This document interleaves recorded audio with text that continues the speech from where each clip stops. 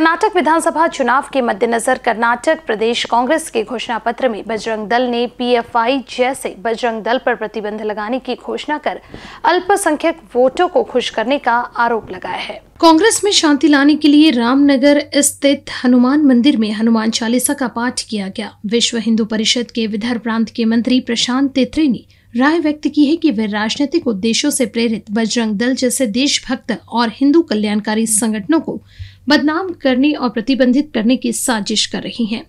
इसी पृष्ठभूमि में देशद्रोहियों को बेअसर करने, समाज को जगाने और हनुमंत की शक्ति को जगाने के लिए इस सामूहिक हनुमान चालीसा कार्यक्रम का आयोजन नागपुर शहर के 150 मंदिरों में बड़ी संख्या में युवक युवतियों ने किया। इन कार्यक्रमों में भाग लिया है। बजरंग दल, विदर्भ प्रांत, सह संयोजक विशाल पुंज, नागपुर महानगर समन्वयक लखन कुरील, नागपुर महानगर सह संयोजक ऋषभ अरखेल विहिप विदर्भ प्रांत प्रचार प्रमुख निरंजन रिसालदार, बजरंग दल, नागपुर महानगर सह संयोजक रजनीश मिश्रा, अमोल ठाकरे, रोहिणी सरूरकर, सदाशिव कोटियन, बिट्टू सावड़िया, प्रेम जमनानी आदि पदाधिकारी और सैकड़ों कार्यकर्ता मौजूद थे। काँग्रेसने कर्नाटकामध्ये घोषणापत्रात असं लिहिलं की बजरंग दलाला आणि पी एफ आयला बॅन करू. पण पी एफ आय पहिल्यापासूनच केंद्र सरकारने बॅन केली आहे.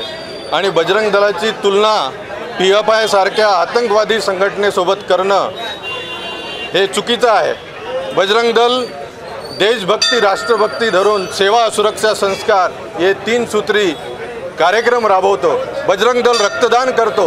हिंदू कन्याचं रक्षण करतो. गोरक्षण करतो. असं देशभक्ती संघटनेवर आरोप लावणे त्याला बदनाम करणे हे काँग्रेसचं आताच नाही आधीपासूनच धोरण आहे.